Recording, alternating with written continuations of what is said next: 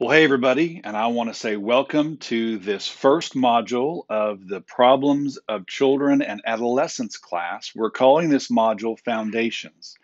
And what I want to do through this little mini video lecture is just to summarize some of what you're going to be reading about in the lecture notes this week. And I'm going to do this at the beginning of every single module, give you a little brief introduction as to what you're going to be reading about in both the lecture notes and in the textbook and highlight just a couple of things for you. Again, this is not going to be very, very long, but again, I just want to highlight a few key ideas for you, which I'll do, like I said, every single uh, every single module. So again, just to kind of get us oriented to what we're doing in this class, this is the first of 11 different modules in this class, and we're going to take them uh, one at a time every single week. Uh, this class is called Problems of Children and Adolescents, and it really is what it says it is. We are going to be talking in this class about kids and some of the struggles that they often face in our world today, especially those that we encounter as we work with them in the social services setting. I'm going to say a little bit more about that in just a second or two.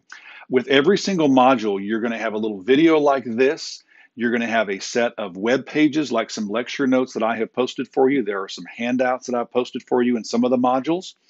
And then there's a discussion question and a homework assignment that is due at the end of the module, and it is due by noon, 12 o'clock noon. Remember, our magic time in this class is 12 o'clock noon the following Monday. Now, a little bit different this week because next Monday is Labor Day uh, Labor Day. So, because of that, I'm giving you until Tuesday, noon on Tuesday, to get your work done, your discussion question, and your homework done for this first module. But normally it'll be at noon, it'll be uh, on noon, at noon on Monday. So, uh, just a, every module will kind of be like that.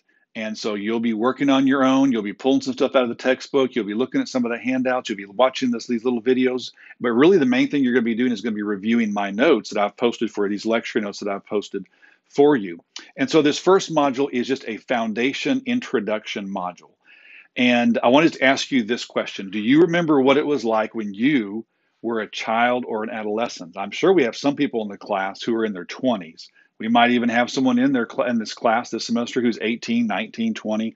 But probably most of us are above that. We're beyond that. And so we're into our adult years. And I don't know what kind of memories you have of your teen in your childhood years, but this class is about kids. And all of us can connect because we have all been children and adolescents at one time. And so you know, like I do, that there is no such thing as a perfect childhood and there's no such thing as a perfect child. And so, like you, I went through typical kinds of struggles and issues as a part of childhood because that is just sort of what is typical for childhood you know it is not easy. It's often kind of messy and kids oftentimes have can oftentimes have a number of different issues and struggles that they face. That's just a part of growing up. And uh, a lot of those problems that you and i experienced as kids and teenagers we grew out of. A lot of us did. A lot of us uh, grew out of those as we went into adulthood and maybe you have kids or grandkids in your house and your kids will grow out of many of those problems but we know that there are certain issues that kids face that really are kind of beyond the typical normal, I'll say normal kind of child and adolescent kind of struggles. And so we talk a little bit about that in the lecture notes and the module this week. The idea that really what this class is about is really about kids who experience problems that are beyond the realm of the normal or the typical. So we're talking in this class specifically about social service types of problems like learning disabilities, ADHD, intellectual disabilities, um, autism, and then a, a, range of mental health issues, and then also to abuse and neglect. So this class is really not about the typical everyday kinds of things that kids and teens struggle with because kids and teens do struggle with lots and lots of different things. So that's an important distinction for this class is that this is really a class where we're talking more about kids who whose issues or struggles although they may have lots of resources and strengths as well too they have some limitations they have some things that they deal with in their lives whether it's mental health or whether it's developmental or behavioral or emotional or whatever it may be so that said, that's kind of just a little simple kind of intro.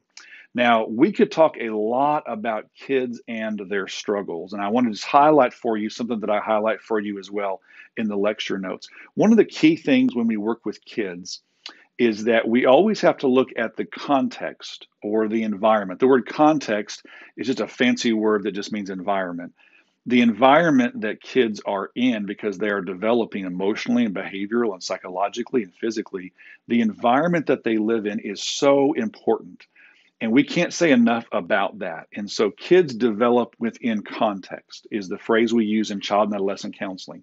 Kids develop within contexts and so it's important to always understand the age and developmental uh, stage that a child is at. It's always important to look at family environment and educational issues and all kinds of stuff when it comes to working with kids. We're going to discuss a little bit of that this semester, but that's always important is, is, is to look at the importance of context that, that, that children live in, the neighborhood that they live in, uh, the family that they are around and how key that is when it comes to understanding and making sense of some of the problems and the issues that kids may face a little bit. Now, now here's the thing that I want to say. I just mentioned family, and I want to say this as well too, and I highlight this as well in the lecture notes this week. I want to dispel a really, really important myth that is around that, that oftentimes people hold when it comes to child and adolescence, children adolescents, and problems. A lot of times we think that kids who have problems come from families that have problems. And that if a kid has a problem, well, then it's an adult's fault that that child has that problem. And I want to just kind of say this just up front that is not always true.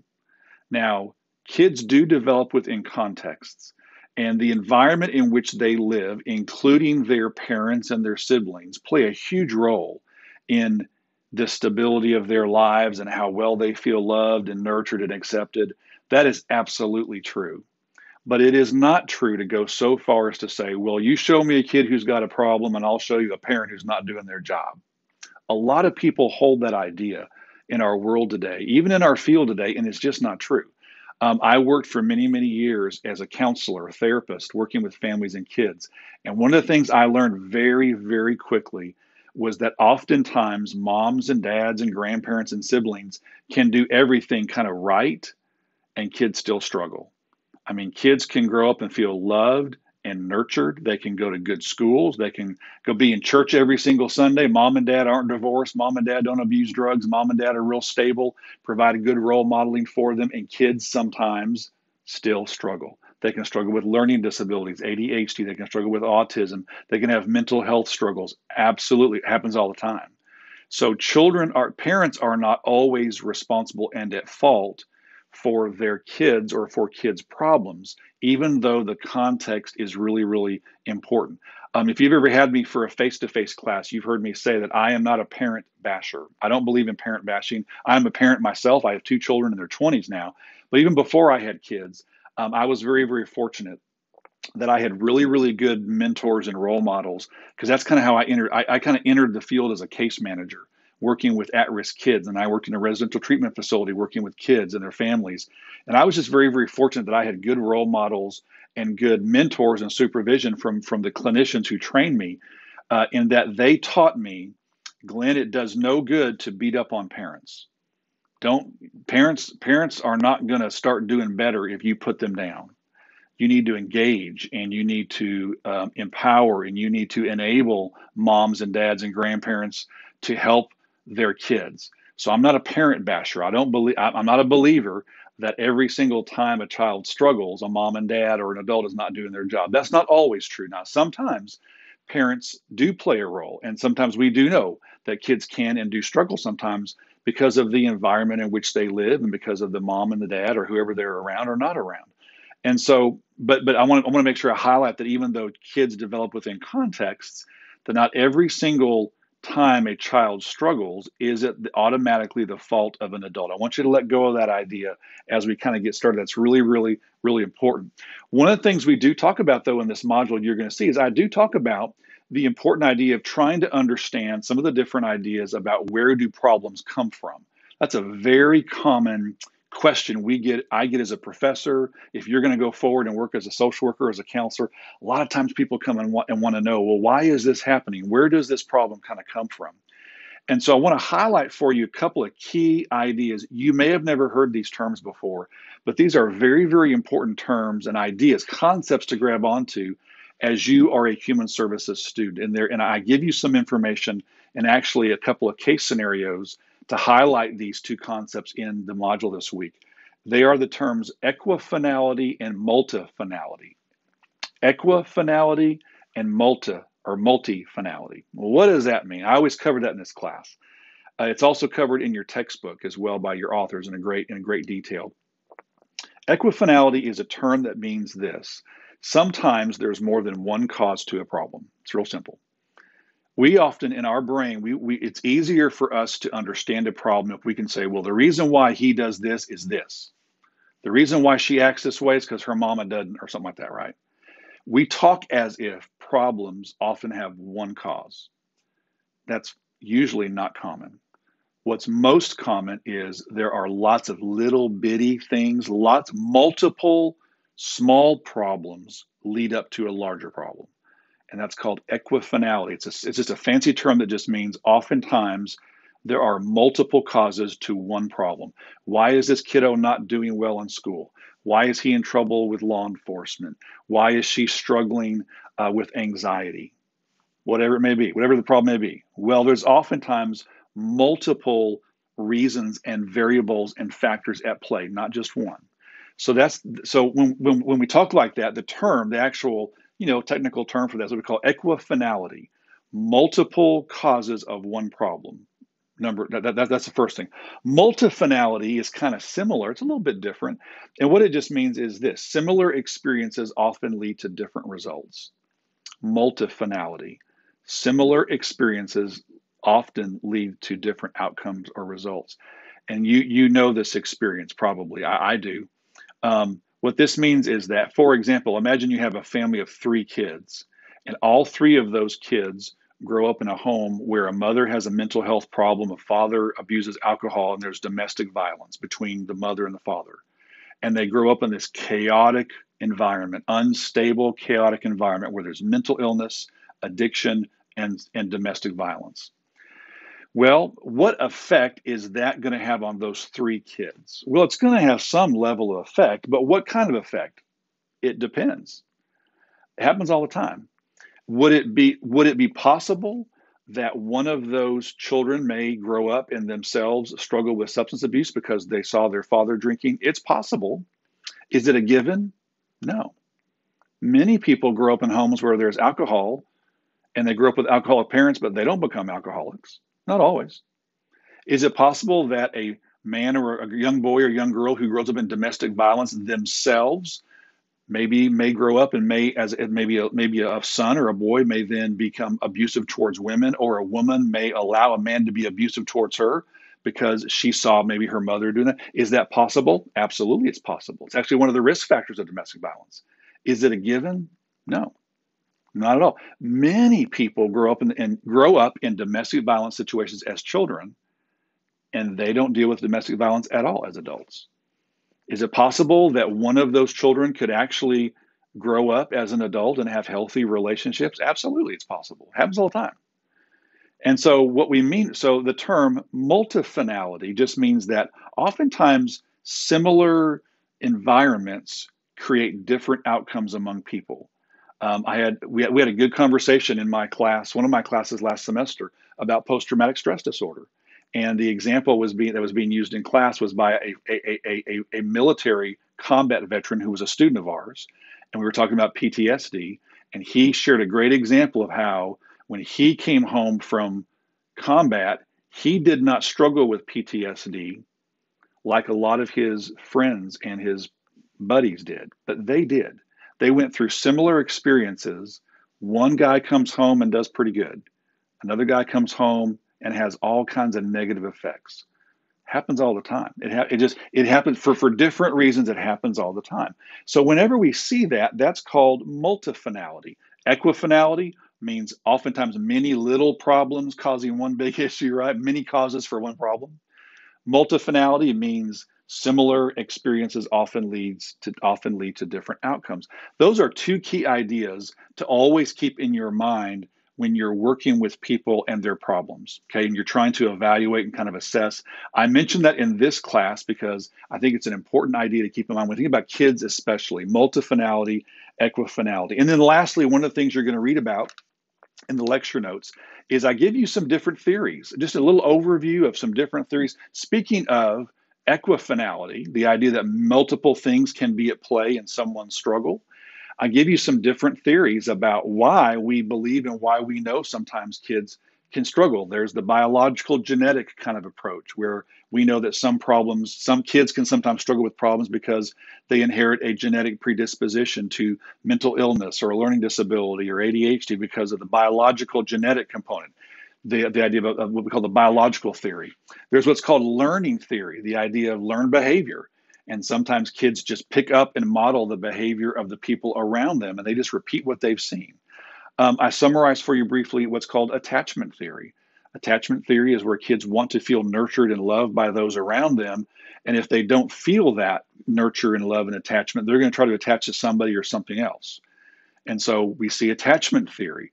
There's what there's Freud's psychoanalytic theory, the idea of you know kind of unconscious motives and, and projection and those kinds of things. All of those things oftentimes are at play.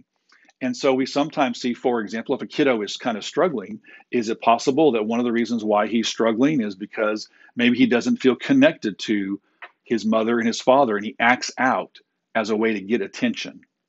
That's possible. That's called that, that, that would be an example we call attachment theory.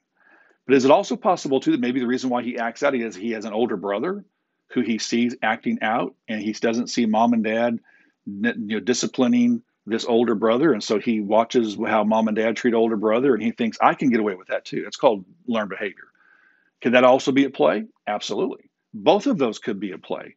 Could it also be possible too that part of why he or she acts out is because genetically he has inherited what we call a learning disability, like dyslexia, from his mom and his dad, or mom and or dad, and so he doesn't feel intelligent at school. He's called ignorant or dumb or stupid. He feels that he feels that way because he, he knows he he's not able to keep up with the rest of the kids. So he has this genetic or maybe a mental health issue like depression or bipolar disorder. It's more of a genetic thing. Is that possible? Absolutely, that's possible. All of those could be at play, right?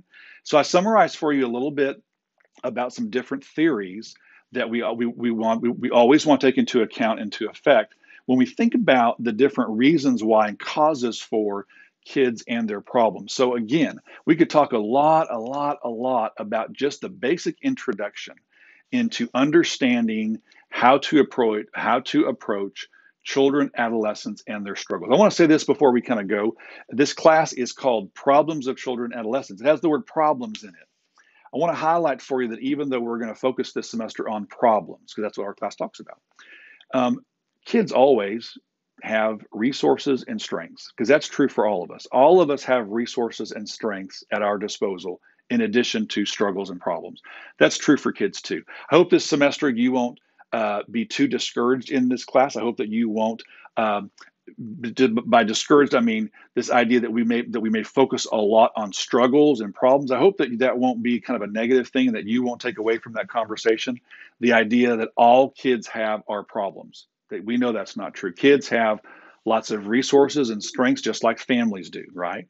So we are going to talk though this semester a little bit about some of the typical kinds of struggles though that kids have. So go through the module, take a look this week at some foundational information. Next week, on Monday, September the 7th, module number two is going to open, and we're going to get down to business in module number two. We're going to begin talking about some of the specific kinds of struggles that we see in children and adolescents, and we're going to start talking about intellectual disabilities and other developmental disorders next week in module two. Okay, so go through, work this week. I'll see you next week in Module 2. Have a good one.